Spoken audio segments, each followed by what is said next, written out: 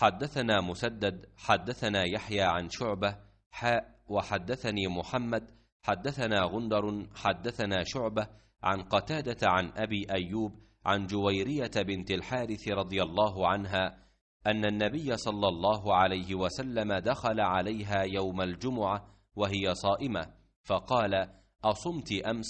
قالت لا قال تريدين أن تصومي غدا؟ قالت لا قال فأفطري وقال حماد بن الجعد سمع قتادة حدثني أبو أيوب أن جويرية حدثته فأمرها فأفطرت.